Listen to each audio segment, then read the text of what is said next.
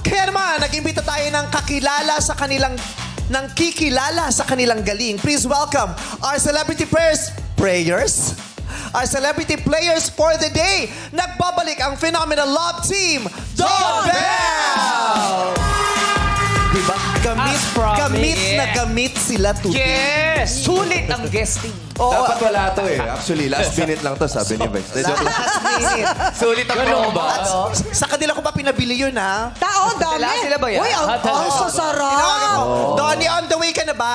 Yes. So, baka pwede dumaka muna sa bakery. Ba- Pinabili ko lang siya niyan. Okay. Oh. Kailangan Mainit pa namin yan. sa segment. Mainit pa yan. Ano ba Thanks, yung, Donnie, ha? No problem. ano ba din yung paborito mo? Yung kabog ang paborito ko. Kabog? Uy, masarap yan. Yes. Parang sarap din ng putok ko.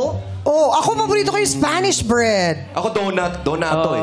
Anong donut? Yung, yung makalumang donut o yung makabagong? Ayun. Kasi yung makalumang donut, donut, yung tinapay lang na punong-puno ng asukal. Yes, papaksak. Actually, gusto ko yun. Yung nabibili lang sa kalsada. Bet mo yun? Paborito ko yun. Masarap Oo, yun. yung pagkatapos eh, diabetic ka na.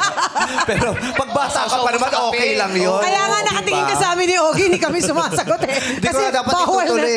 bawal na sa atin yun eh. Oo, ito Bawas, yung- bawas. Si, si, kasi paborito ni Ogie yung dati, yung donut na punong-puno ng asukal. Pero ngayon, pag kinakain niya, yung, yung shorts niya puro langgam na pagkatapos. Grabe kayo. Paborito ko, croissant. wow! Spell! Sige nga. Putok na lang. Ikaw, Bel, anong paborito mong binibili sa bakery nung, nung bagets ka pa? Kabayan. Kabayan! Favorite.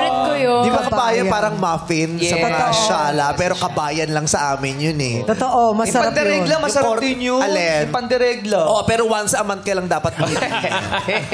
Dati, dati Ba yun? favorite ko yan. Oo. Ngayon hindi si na. Chang hindi na nakaka-experience niyan.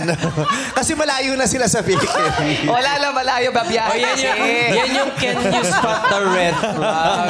Ay, ikaw nagsabi nun, ikaw naghula, nagkatotoo Grabe. tuloy. Kasi hula ko siya sabi ko, feeling ko sa showtime ka na magme-menopause.